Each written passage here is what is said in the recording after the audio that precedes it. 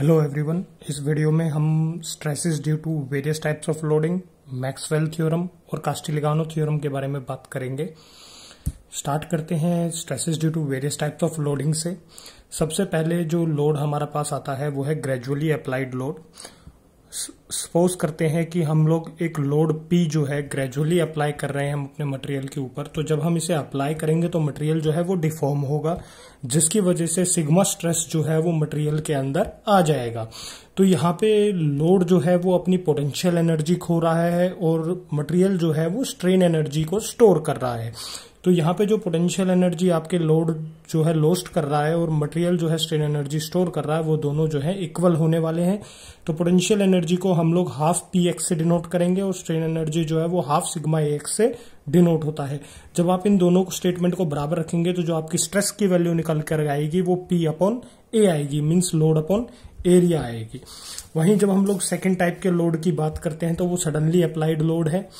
जब हम किसी भी लोड को सडनली अप्लाई करते हैं तो वो थ्रू आउट पर जब भी भी, जितना भी प्रोसेस ऑफ़ डिफॉर्मेशन आपका चलेगा डिफॉर्मेशन का जितना भी प्रोसेस आपका चलेगा थ्रू आउट डिफॉर्मेशन वो जो है कॉन्स्टेंट मेंटेन रहेगा कॉन्स्टेंट बना रहेगा। तो आप लोड और एलोंगेशन के बीच में जो प्लॉट आपको देखने को मिलेगा, वो एक्स एक्सिस के पैरेलल आपको नज़र आने वाला है। ये आपका प्लॉट है लोड और एलोंगेशन के बीच में जो कि आपको एक्स एक्सिस के पैरेलल नज़र आएगा। तो यहाँ पे वर्कडन जो रहेगा वो इस एरिया ये जो आपका शेडेड पोर्शन है, इसके एरिया के बराबर रहेगा। यहाँ पे आप एरिया की बात करेंगे तो इस डायरेक्शन में आपका लोड जो है वो पी है। यहाँ जो आपकी लेंथ है, वो डेल है मतलब एलोंगेशन जो है, वो डेल है तो आप लोड को डेल से मतलब पी को डेल से मल्टीप्लाई करेंगे तो ये आपका एरिया रहेगा शेडेड पोर्शन का, जो कि वर्कडन होने वाला है। डेल की आप बात करते हैं एलोंगेशन की तो एलोंगेशन क्या होता है? Stress into length upon Young's modulus of elasticity तो आपकी जो वर्कडन की वैल्यू आएगी, वो P sigma S U L upon E यहाँ जो एस यू आपने सब्सक्रिप्ट यूज़ किया है, वो सडनली अप्लाइड लोड के लिए है।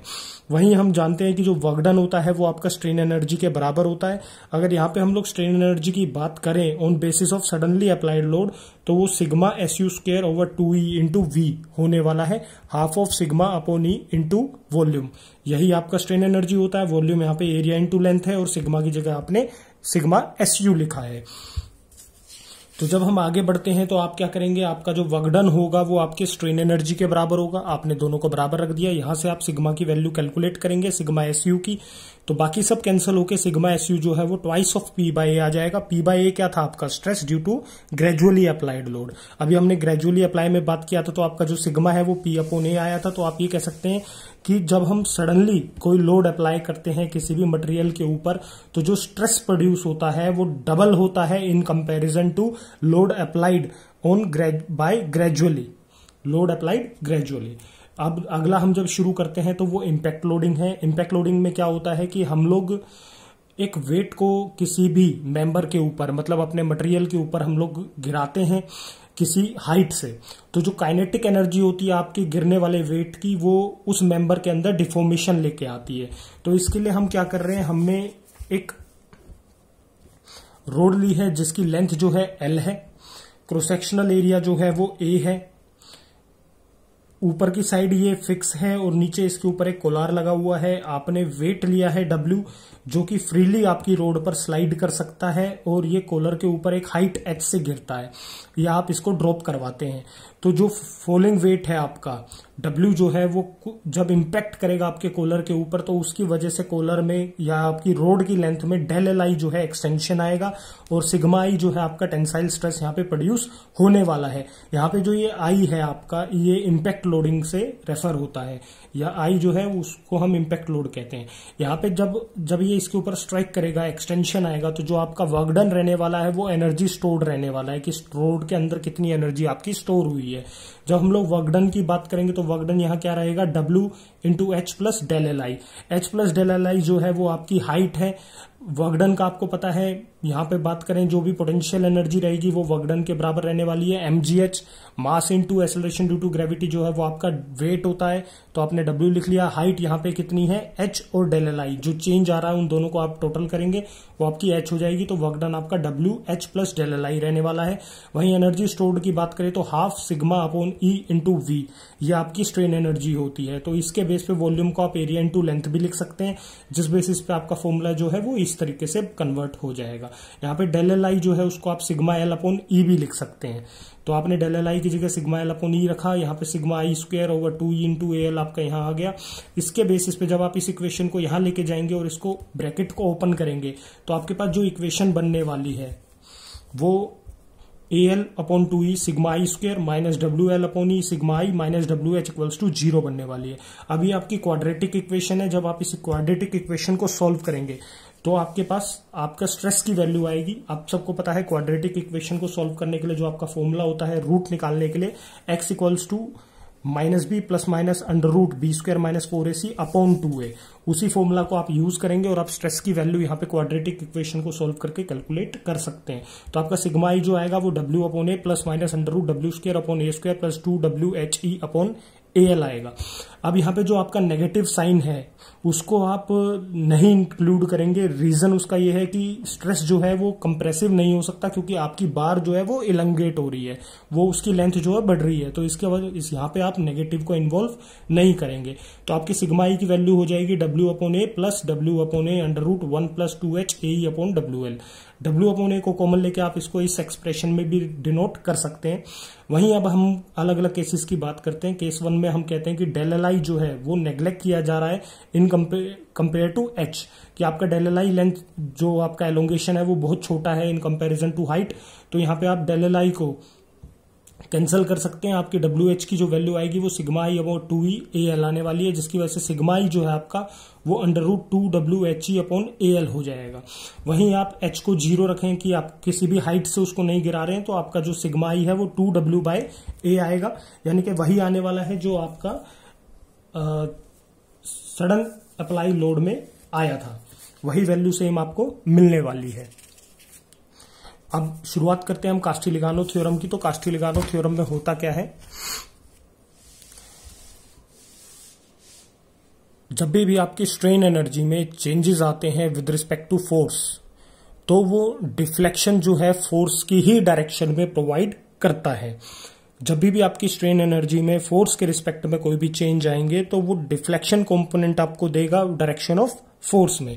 अगर मैं इस स्टेटमेंट के बेस पे बात करूँ तो जब आपने एक बॉडी के ऊपर बहुत अलग अलग कई लोड्स लगाए हैं, आपने एक बॉडी के ऊपर कई सारे लोड्स लगा दिए हैं तो जो आपकी टोटल स्ट्रेन एनर्जी का पार्शियल डेरिवेटिव आपको मिलने वाला है लोड के रिस्पेक्ट में, किसी एक लोड के रिस्पेक्ट में तो वो जो डिफ्लेक्शन देगा, वो उसी लोड की डायरेक्शन में आपको प्रोवाइड करेगा।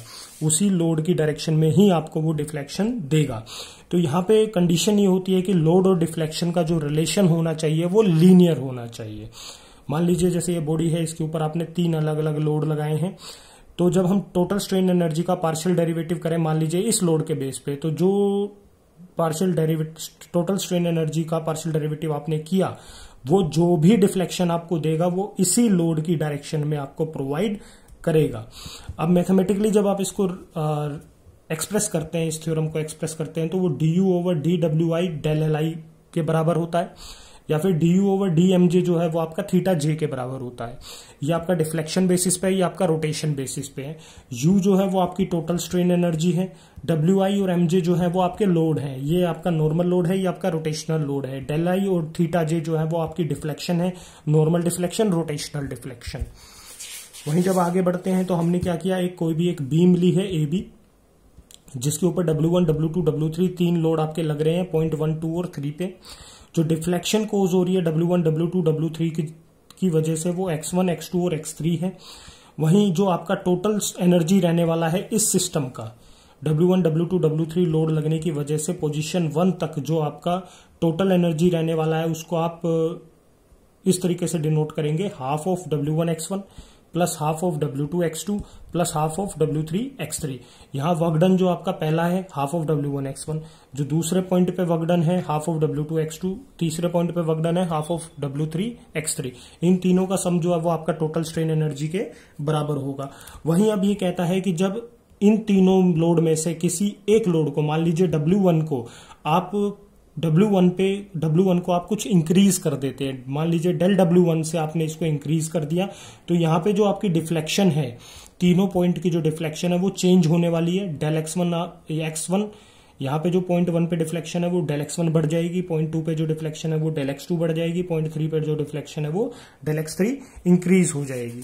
तो इसके बेसिस पे जो आपका एक्स्ट्रा वर्क डन आने वाला है अलग अलग पॉइंट पे, उसकी बात की जाए तो पॉइंट वन पे जो आपका एक्स्ट्रा वर्क आएगा, वो क्या होगा? W one plus half of del W one del X one आपका टोटल लोड हो गया डब्ल्यू वन और डेल डब्ल्यू वन और वो आपका कटने वाला है किसके साथ? मल्टीप्लाई होने वाला है किसके साथ? डेल एक्स वन के साथ, जो आपकी नई डिफ्लेक्शन आई है। वहीं पॉइंट टू पे बात करें तो आपका डब्ल्यू टू ही वेट रहेगा और डेल एक्स टू आपकी डिफ्लेक्शन बढ़ने वाली है तो इतना वर्क आपका बढ़ जाएगा। वहीं थ्री पॉइंट पे बात करें तो W three del X three आपका वेट बढ़ जाएगा, या आपका वर्कडन बढ़ जाएगा। तो यहाँ पे हम लोग बात करते हैं कि जो आपका इंक्रीज आया है स्ट्रेन एनर्जी में, वो कितना होगा? वो टोटल एक्स्ट्रा वर्कडन के बराबर होगा। तो आप इन चार तीनों को ऐड कर दीजिए। जब आप इन तीनों को ऐड करेंगे तो आपके पास इंक्रीज इन स्ट्रेन एनर्जी आ जाएगा। वहीं हम लोग बात करते हैं कि जो del W one del X one है आपका, ये बहुत ही स्मॉल टर्म है, क्योंकि दो छोटी टर्म्स आपस में मल्टीप्लाई हो रही हैं, ये एक और छोटी टर्म बन जाएगी तो आप इसको नेग्लेक्ट कर सकते हैं। तो जो आपका चेंज इन या इंक्रीज इन स्ट्रेन एनर्जी आएगा, वो W one del X one plus W two del X two plus W three del X three आएगा। वहीं जब आप लोड जो है अप्लाई कर रहे हैं, उसको मान लीजिए कि आप, वो ग्रेजुअल है और ज़ीरो वैल्यू से शुरू होकर ग्रेजुअली वो बढ़ता आया है तो टोटल स्ट्रेन एनर्जी जो आपकी रहने वाली है, वो summation half into load into deflection होने वाली है। तो यहाँ पे आप देखेंगे आपका यू प्लस डेल्यू जो आएगा, यानी कि half into load into deflection वाला केस करके u प्लस डब्ल्यू जो आपका आने वाला टोटल स्ट्रेन एनर्जी जो आपकी आने वाली है, सभी लोड्स के अप्लाई होने के बाद, वो half of W one plus del W one X one plus del X one मतलब पहले पॉइंट पे W one plus del W one आपका लोड है, नया, और जो आपकी डिफ्लेक्शन है, वो X one plus del X one है। वहीं सेकंड पॉइंट पे आपका डब्ल्यू टू लोड है X two plus del X two आपकी नई डिफ्लेक्शन है डब्ल्यू थ्री जो है आपका लोड है X three plus del X three आपकी टोटल डिफ्लेक्शन है। जब आप इस इक्वेशन को सोल्व करेंगे, आपके पास ये इक्वेशन आने वाली है किसकी टोटल स्ट्रेन एनर्जी की। यहाँ पे भी वही है कि del W one del X one जो है वो आपकी स्मॉलर क्वांटिटी है, उसे आप नेग्लेक्ट कर सकते हैं। तो ये आपकी इक्वेशन जो है वो कुछ इस तरीके से कन्वर्ट हो जाएगी। वहीं अब आप बात करते हैं यू प्लस डेल्यू आपका ये आया है टोटल स्ट्रेन एनर्जी अगर मुझे खाली चेंज चाहिए इस इक्वेशन से तो आप क्या करेंगे? पहली इक्वेशन में आपने स्ट्रेन एनर्जी की वैल्यू कैलकुलेट की थी। यहाँ पे आप देखेंगे, इस इक्वेशन में आपने स्ट्रेन एनर्जी की वैल्यू कैलकुलेट करी थी। इस इक्वेशन से नंबर थ्री इक्वेशन से आप नंबर वन इक्वेशन को स्ट्रेन एनर्जी को, जो आपने स्टार्टिंग में निकाला था, उसको माइनस करवाएँगे। जब आप इसे माइनस करवाएँगे तो आपका जो चेंज इन स्ट्रेन एनर्जी है, वो कुछ इस तरीके से आएगा। Half of W one del X one plus half of del W one X one plus half of W two del X two plus half of W three del X three वहीं जब आप इस half को आगे ले जाएँगे तो ये ट्वाइस ऑफ़ डेल यू हो जाएगा। यहाँ पे आप del W one X one को बाहर निकाल लीजिए, बाकी तीनों टर्म्स को यहाँ ले लीजिए। ये जो टर्म है आपकी W one del X one plus W two del X two plus W three del X three ये जो टर्म है ये आपकी डेल यू के बराबर होती है, जो आपने सेकंड इक्वेशन में पढ़ा था। इन टर्म्स को नेग्लेक्ट करने के बाद आपका डेल्यू का value W one del X one plus W two del X two plus W three del X three आया था। तो वहाँ इन, इसकी जगह पे आपने डेल्यू पुट किया। तो आपकी डेल्यू की जो वैल्यू है, इस डेल्यू को उधर ले जाके माइनस करवाने के बाद जो आपकी डेल्यू की वैल्यू आई है, वो del W one X one आई है। इसके बेस पे डेल डब्ल्यू वन आप नीचे ले जा सकते हैं तो आपके पास del U over del W one equals to X one आएगा। इसके बाद जब आप देखते हैं लिमिट अप्लाई करते हैं तो आपका डेल्यू जो है वो del W del U upon del W one जो है वो एक्स वन के बराबर आ जाता है। वहीं जब आप पार्शियल डेरिवेटिव करते हैं स्ट्रेन एनर्जी का with respect to W one load one तो जो आपकी डिफ्लेक्शन आ रही है डब्ल्यू वन के अंदर तो वो किस डायरेक्शन में आपकी? डब्ल्यू वन वो आपकी किस डायरेक्शन में है सर डब्ल्यू वन डायरेक्शन में है। तो वहीं आप देखते हैं कि del U by del W two को भी आप एक्स टू लिख सकते हैं del U by del W three को भी आप एक्स थ्री लिख सकते हैं। तो जो जनरल फॉर्म आपकी आ जाती है, वो del U by del W I equals to X I आ जाती है। यही हमने जो है कास्टिलिगानो थ्योरम की स्टार्टिंग में जब बात करी थी तो हमने इसी फॉर्मूला के बारे में बात की थी कि del U over del W I जो है वो डेल आई के इक्वल होता है। तो ये आपका मैथमेटिकल एक्सप्रेशन आ गया आपके किसके लिए? कैस्टेलिगानो थ्योरम के लिए। वहीं इसको जब हम एंगुलर रोटेशन के बेस पे देखते हैं तो आपका थीटा आई जो है वो del U by del M I के बराबर होता है। एम जो है वो यहाँ पे आपके कपल को डिनोट करता है। आगे बढ़ते हैं हम लोग मैक्सिमम मैक्सवेल थ्योरम की तरफ़। जब हम मैक्सम, मैक्सवेल थ्योरम को पढ़ते हैं तो होता क्या है कि मान लीजिए आपका सेकंड सिस्टम जो है, वो डिस्प्लेसमेंट कुछ कर रहा है। तो उसकी वजह से फ़र्स्ट सिस्टम जो है आपके लोड का उसमें कुछ ना कुछ वर्कडन होता है। जो ये वर्कडन है, जो फ़र्स्ट सिस्टम में हो रहा है, ये सेकंड सिस्टम में वर्कडन होने वर्कडन जो सेकंड सिस्टम का वर्कडन है, उसके बराबर होता है जब आपका फ़र्स्ट सिस्टम जो है वो डिस्प्लेसमेंट कोज करेगा। अगर सिंपल वर्ड्स में हम इसकी बात करते हैं तो मान लीजिए आपने लोड डब्ल्यू जो है वो अप्लाई किया है किसी पॉइंट ए पे। तो ये क्या करता है, ये दूसरे पॉइंट बी पे भी कुछ ना कुछ डिफ्लेक्शन कोज करता है। वहीं जब आप ये सेम लोड ये सेम लोड जो है आप बी पॉइंट पे अप्लाई करेंगे तो वो डिफ्लेक्शन जो है ए पॉइंट पे भी कोर्स करेगा। तो अपने आप में जो आपका वाई बी ए जो है, वो वाई ए बी के बराबर हो जाएगा। मान लीजिए ये आपका कोई भी मेंबर है, इस पे आपके दो पॉइंट्स है। ये पॉइंट ए है, ये पॉइंट बी है। आपने लोड अप्लाई किया पॉइंट ए पे तो ये पॉइंट ए पे जो लोड अप्लाई हुआ है, ये बी पॉइंट पे भी कुछ ना कुछ डिफ्लेक्शन कोज करेगा। वहीं सेम लोड आप, अब की बार ए से हटा के बी पे लगाते हैं तो उसकी वजह से कुछ ना कुछ डिफ्लेक्शन जो है वो ए में आएगी। तो यहाँ जो ये दोनों डिफ्लेक्शन आपकी आती हैं ए की वजह से बी पे और बी की वजह से ए पे तो वो दोनों डिफ्लेक्शंस जो होती हैं वो सेम होती है, ये मैक्सवेल थ्योरम कहती है। तो यहाँ पे जो आपका जैसे ये वाई बी ए लिखा हुआ है तो वाई बी ए का मतलब क्या है? जो पहले आता है, उसका मतलब है कि आपका डिफ्लेक्शन कौन से पॉइंट पे है? जो बाद में पॉइंट लिखा होता है सब्सक्रिप्ट लिखा होता है, वह उसका मतलब होता है कि लोड अप्लाई हो रहा है। यहाँ पे बी में डिफ्लेक्शन हुआ है ए पे लोड अप्लाई हुआ है। यहाँ पे ए पे डिफ्लेक्शन हुआ है और बी पे लोड अप्लाई हुआ है।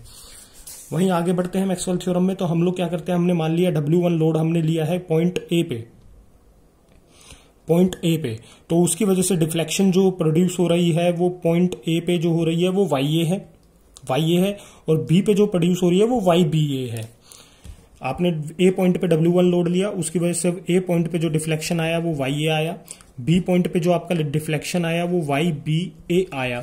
वहीं आपने जब बी पॉइंट पे same load W one apply किया तो बी पॉइंट पे जो आपका डिफ्लेक्शन आया, वो वाई बी आया और ए पॉइंट पे जो आपका डिफ्लेक्शन आया, वो वाई ए बी आया। तो जब बॉडी के अंदर हमने डब्ल्यू वन लोड अप्लाई किया डब्ल्यू वन लोड अप्लाई करने के बाद हम लोग क्या करते हैं कि एडिशनल लोड डब्ल्यू टू और लगा देते हैं।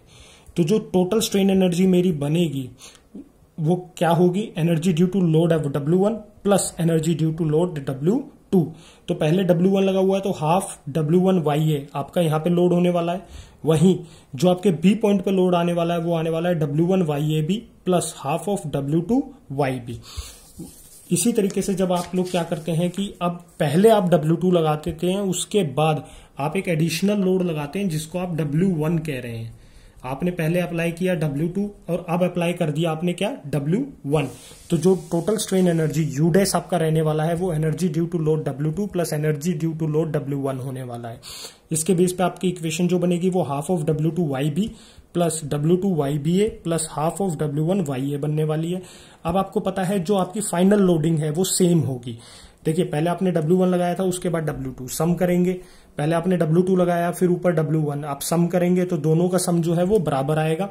तो आपकी फाइनल लोडिंग जो है वो दोनों केसेस में सेम है। तो आपकी जो ये दो वैल्यूज़ आई हैं एक ये आया है आपका टोटल स्ट्रेन एनर्जी एक ये आया आपका टोटल स्ट्रेन एनर्जी इन दोनों को आप बराबर रख सकते हैं। जब आप इन दोनों इक्वेशंस को बराबर रखते हैं और लोड जो है, उसको आप कह देते हैं कि W1 जो है, वो W2 के बराबर है। और इन दोनों को आप W से डिनोट करते हैं तो जो आपकी इक्वेशन है ऊपर वाली, वो रिड्यूस होकर Y A B equals to Y B A की फॉर्म में रह जाती है। इसका मतलब कि आप किसी भी पॉइंट पे डिफ्लेक्शन क्रिएट करवाएँ मतलब आप कितने भी लोड लगाएँ, आपकी जो डिफ्लेक्शन आने वाली है, दोनों पॉइंट्स पे वो क्या आने वाली है? सेम आने वाली है। पहले के ऊपर लगाने की वजह से दूसरे में जो डिफ्लेक्शन आई, दूसरे पे लोड लगाने की वजह से जो पहले में डिफ्लेक्शन आई, वो दोनों डिफ्लेक्शन आपकी क्या होती है? सेम होती है। ये आपकी मैक्सवेल थ्योरम आपको समझाती है। Thank you